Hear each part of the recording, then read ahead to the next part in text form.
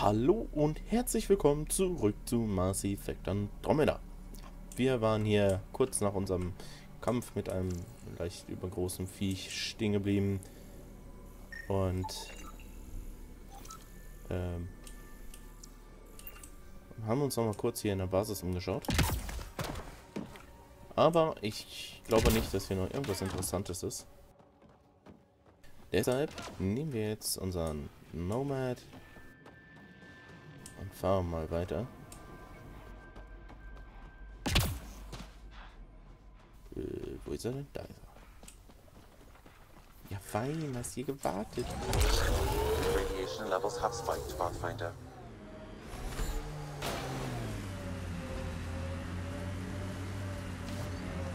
Nochmal eben Minimap kontrollieren. Ach du Schande, was ist jetzt los? Beständigkeit erkunden? Ich war doch gerade da.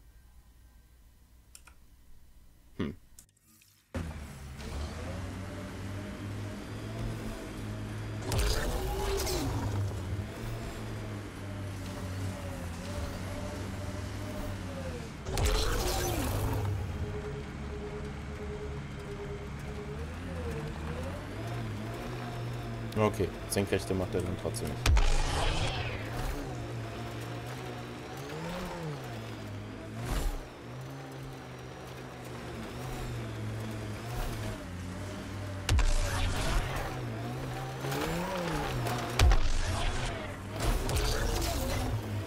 Dann halt nicht. Aua. Experiencing radiation damage. Should be a memorial or monument when there's time. Hard lessons we can't forget. Recovery's a long-term process.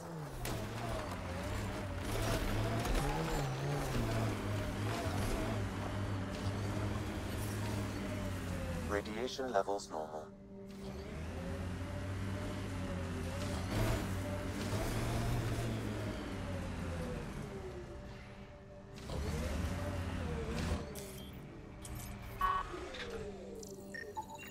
Site 1 main building door code is acquired, Pathfinder. Not the important part, Sam. The failure here was expensive, Pathfinder. It's worn all of us down, not just our shuttles.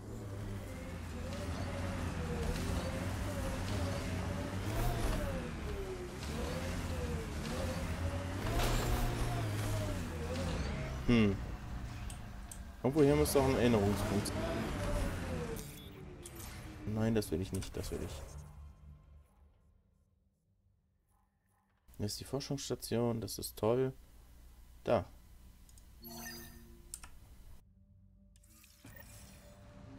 Da wollen wir hin.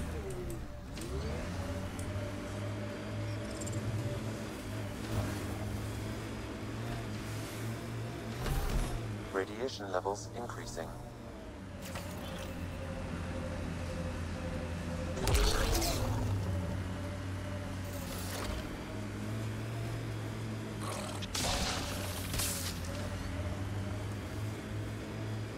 I think that's it? Ach Mann.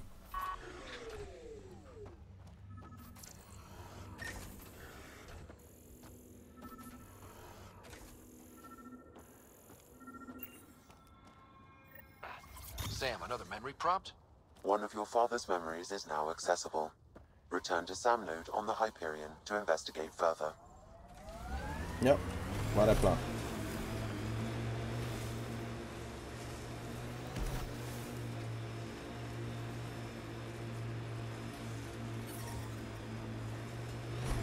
Pathfinder, another deceased colonist. If you get me their name, I'll update the records and tag the body for recovery. Hä, den habe ich doch. Wo?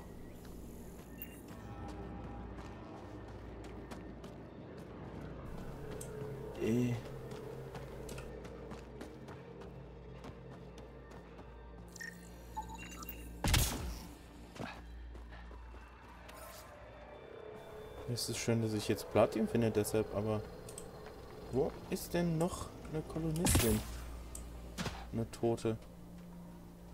Bin ich jetzt bekloppt? Hä? Und da sagt er ja selbst, bei welchen die schon getaggt sind. Das finde ich ein bisschen dämlich. Ehrlich bin.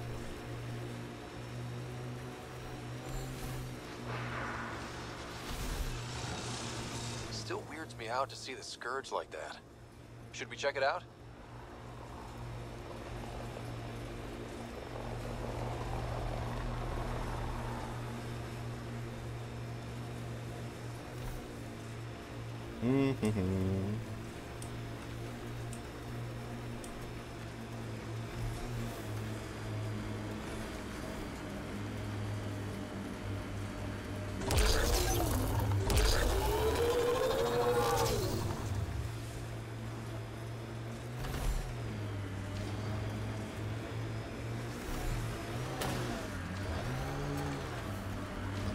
Activating automated forward station deployment.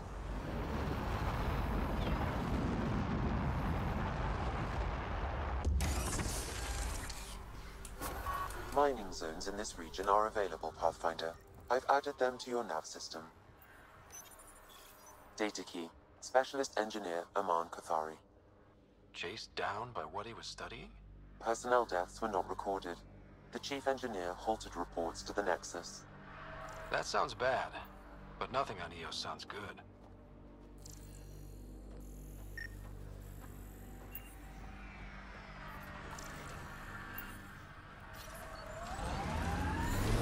Hat sich das doch nochmal gelohnt. Radiation levels increasing. Radiation levels within acceptable limits. Life support is stable. Hm.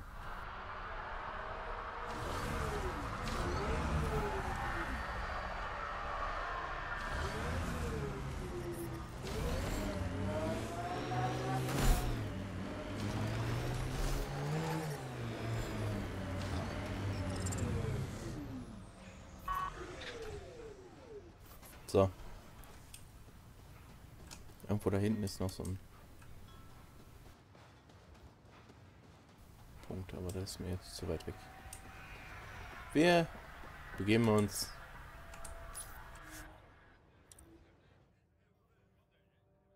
zum Nexus. Leaving Atmo. All clear.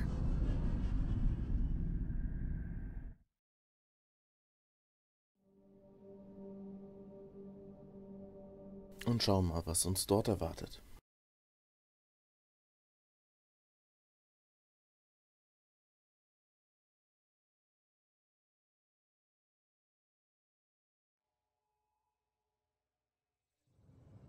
Before the meeting gets started, I have bunk assignments for PB and Drac.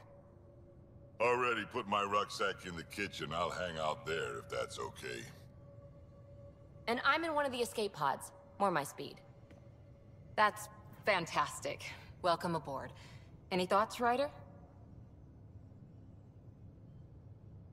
We're adventurers. Whatever makes the squad comfortable is okay with me. Let's talk about our success on EOS. Besides establishing our first viable outpost, we did some amazing things. We discovered the Remnant and breached their vault. And didn't get killed. Overcame radiation poisoning a number of times. And didn't die. Confronted by Ket at every turn.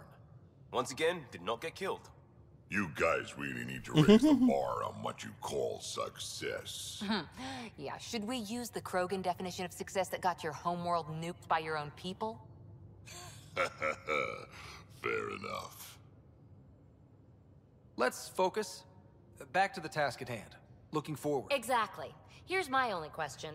When do we hit that next vault? It looked active. We have to get on that. Hang on, hang on. We need to not go off half-cocked. There are initiative priorities. The team calls the shots. Actually, the Pathfinder calls the shots, just to be clear. Schleimerin.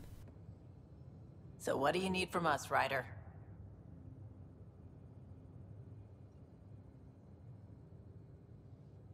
Hm, was brauchen Sie von uns? Kommen Sie miteinander aus. Let's be kind and give each other the benefit of the doubt. Finding a home for tens of thousands in this hellscape is stressful enough without adding dysfunction. You got it, boss. If Krogan are known for one thing, it's getting along. But not humility or self-awareness. Okay, let's head back to the Nexus. PB, Drac, see Lexi for a physical. Good meeting, everyone.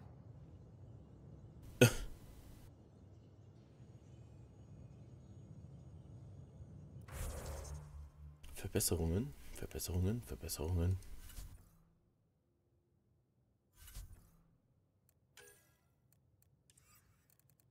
Ja, das ist jetzt Inventar, Panzerung, Verbrauchsobjekte. Machen wir erstmal Fähigkeiten. Wir haben... Was zur Hölle? 16 Punkte?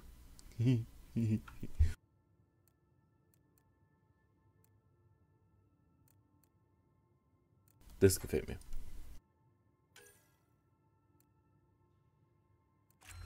Na, machen wir erstmal da einen rein.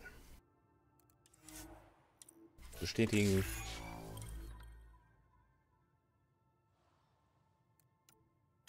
So. Ziehen. Kriegt.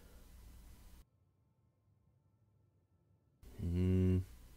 Erstmal einen. Und dann... Ich verstehe nicht, äh, ver ich verstehe nicht, wie ich... Okay. Ja, hast du es jetzt mal? Okay. Wo ich sowas wie Verteidigung hochdrehe. Oder geht das automatisch mit dem Level? Hm. Okay. Überlastung kriegt auf jeden Fall 2. Die Fähigkeit brauche ich ja wie Sondermeer, also ständig. Das Ding, mehr Gesundheit fürs Geschütz. Hilfssysteme. Tech-Effektdauer, Tech-Kräfteschaden, Teamschilde. Achso, ja, da hatte ich ja schon eine Stufe reingesetzt. Da könnten wir noch eine reinsetzen. Das ist durchaus nicht schlecht. So. Das ist Invasion. Infiziert Gegner mit invasiven Maschinenschwarm unter VI-Kontrolle, der die Verteidigung schwächt und sich auf einen in der Nähe ausbreitet. Ja! Das steht ihm.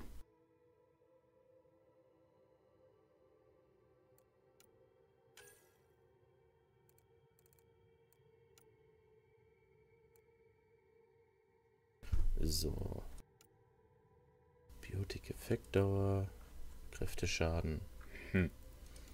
Könnten jetzt noch aber ziehen und dann gebe ich das Angriffsgeschütz wieder weg. Es ist so. Äh. Ich kann mich doch im Moment tatsächlich nicht entscheiden. Dann machen wir was anderes. Machen wir.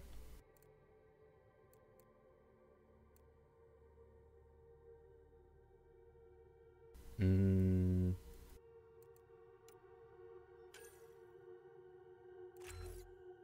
In Pistolen einreihen und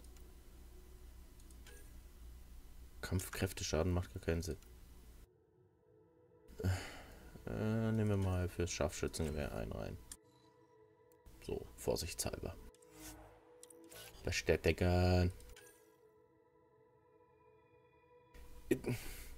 Kannst du nicht einfach automatisch Leveln einschalten? So, dann machen wir Asari Elite Einheit und Defensivausbildung 2. So.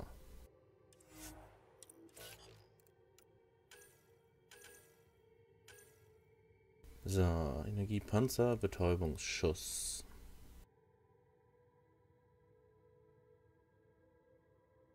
Hm.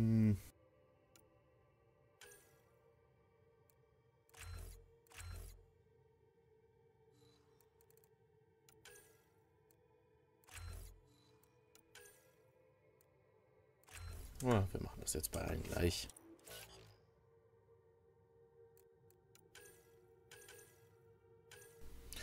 Ja, komm. Ach, der hat noch überhaupt noch keine Punkte. Okay.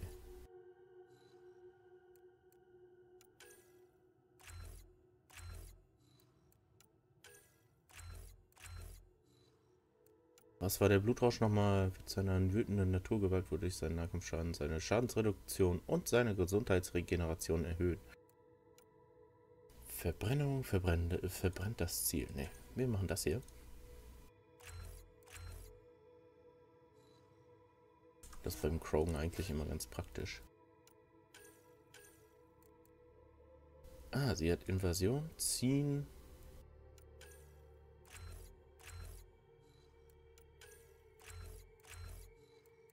Und theoretisch Schockwelle.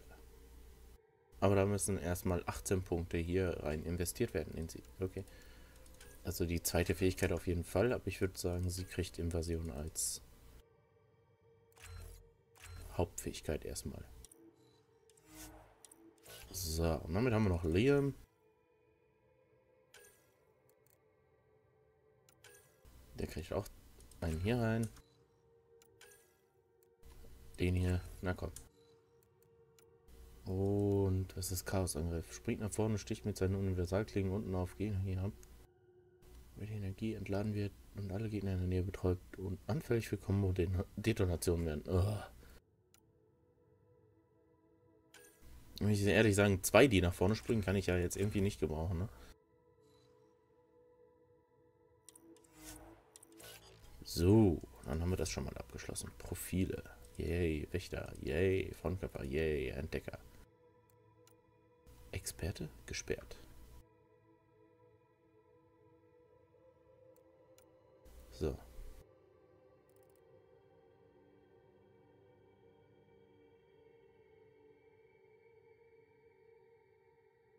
Ach so, das, was gerade äh, aktiv ist, gibt mir gibt mir das während des... Ah, okay. Und da oben steht der Rang daneben. Okay.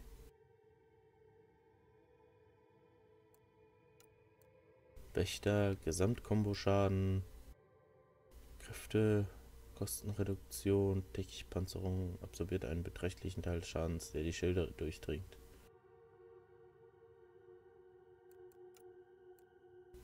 Okay. Frontkämpfer, Nahkampfschaden, Nahkampf, Nahkampf. Maximale Schildleistung ist cool, aber ich brauche keinen Nahkampfschaden oder Nahkampfstärke. Wo ist der Unterschied zwischen Nahkampfschaden und Nahkampfstärke? Ne, ist das seltsam.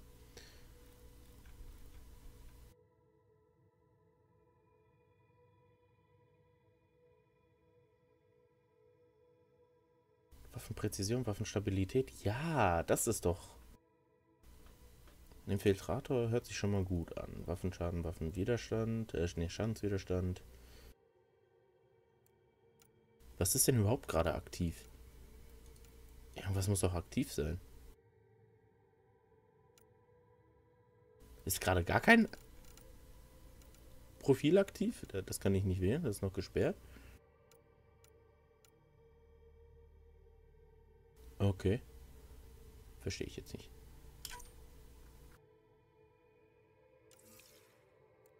Haben sich meine Fähigkeiten jetzt verändert? Nee. Okay. Seltsam, aber okay. Kann ich mitleben. So.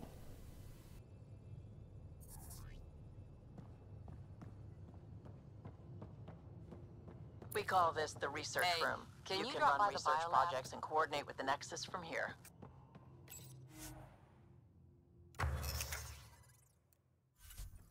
Jede Menge neue Rezepte. Maddock. Maddock war gut. Ich habe nicht genug Eisen. Nein.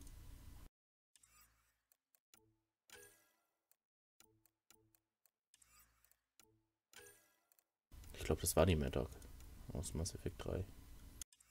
Bin gerade nicht sicher. Universalklinge 2. Gar nichts. Okay.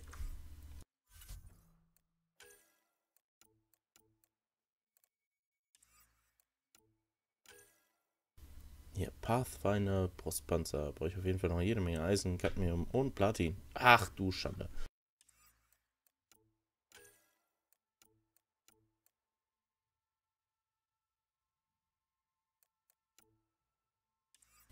Alles, was Pathfinder ist, braucht Platin. Gut zu wissen. Ist ja auch gar nicht selten oder sowas.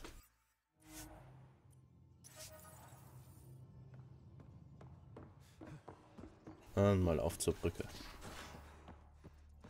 We haven't really spoken since orientation, have we? It's all been so hectic, but I'm sure things will quiet down soon. Can't be worse than the Nexus. Glad you stopped by. You'll pardon me if I keep an eye on our vector? That's probably smart. Ah, nothing like being on the bridge of your very own ship, is there? You mentioned something about helping design the Tempest? Test pilot, mostly. Plunging through the Nemean Abyss was almost a preparation for the Scourge. Of course, it took a whole team to build the Tempest. I was the only one to come to Helios, though. Why did you? What can I say? We poured our hearts into a ship that wouldn't realize her potential until Andromeda.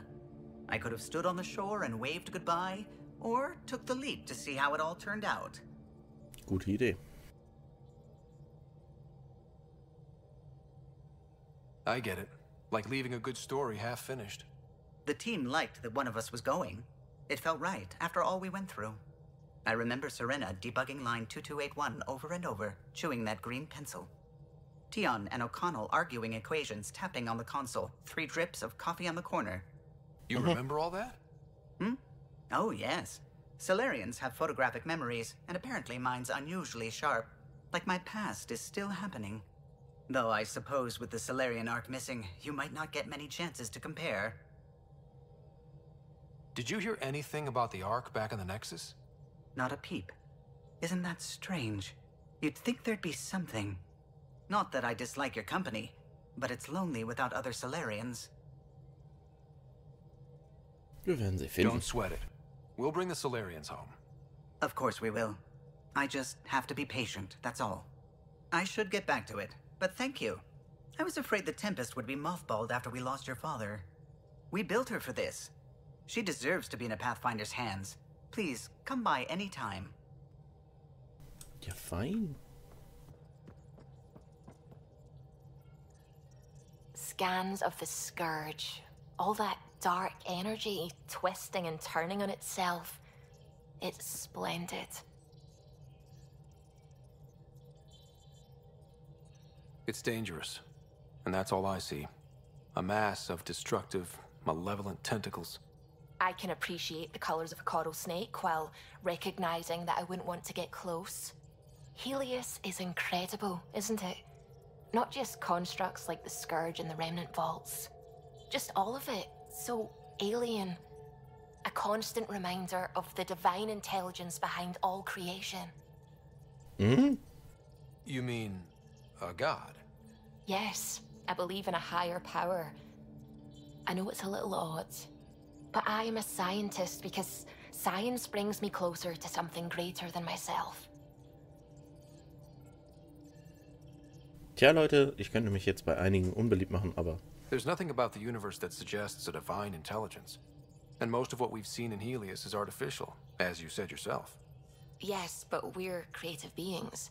Whoever made the remnant was too. Why should that be proof against a god? Wouldn't a true creator want to pass on the drive to invent? mh,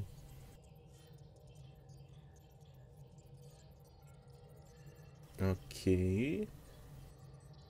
If everything was set in place by some mysterious creator, why even be a scientist? If I have reverence for a creator, how could I not want to study their creation? My faith does not hinder my work as a scientist. It encourages it. Okay. My senses tell me what the world is. Science shows me how it came to be.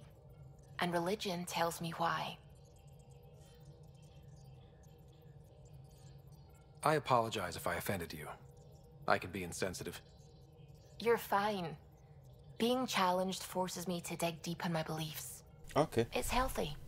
Now I should probably update the rest of the team with my latest reports. We'll talk later. Ja. Äh, oder auch nicht. Also, nee, nicht wirklich. Hm. Äh, ja, ich hätte euch versprochen, wir fliegen zurück zum Nexus. Das seht ihr jetzt noch. Komm.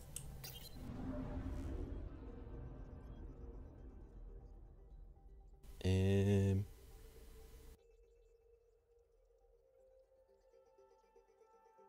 Ich will eigentlich...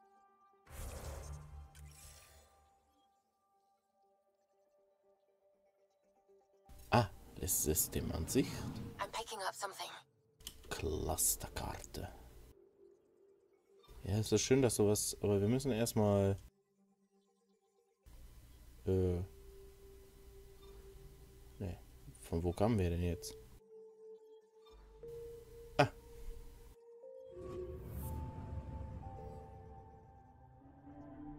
Zum Nexus.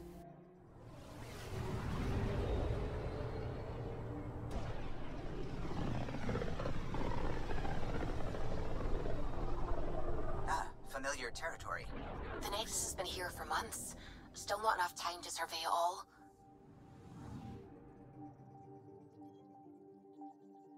I'm picking up something. Irgendwie überall fängst du was auf. Wir machen uns aber jetzt erstmal zum Nexus auf.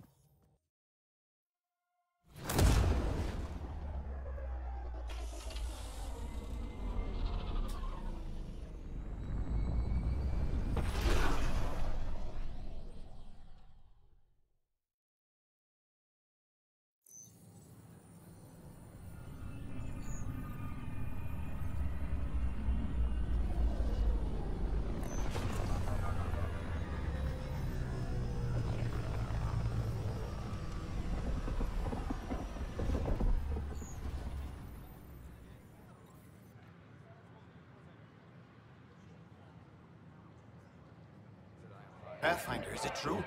We're settling Eos. We've thought that before. But Eos is different now, right? Pathfinder. All right, settle down. Give him space. Lieutenant Syax, Kendros' aide. They all wanted to see you. Real hope again. It's been a while. Maybe he thought he was being mm, honest. He was being an ass. Wo sind wir jetzt? Jetzt ist... Mh, They've got a Pathfinder again. This is what we do. And you've done it splendidly. This is Hirik, one of the ge- uh, scientists from the tech lab. What you achieved with that remnant vault is unprecedented, Pathfinder. Impossible. But with new scientific talent waking up, we'll unravel those mysteries. The whole Nexus will benefit. I can't believe you said that. Being... August Bradley will oversee that. He's the new mayor. Bradley. I know him. Seems like a good man. Well, what are you waiting for? There's a new world out there. Thank you, Ryder. Ja, gerne doch. So, und mal wieder mit ein bisschen Überlänge entlasse ich euch jetzt erstmal in tja, das nächste Video. Ein anderes Video von mir. Wie auch immer, schreibt mir mal wieder in die Kommentare. Wir sehen uns beim nächsten Mal wieder. Bis dahin, habt viel Spaß. Ciao, ciao.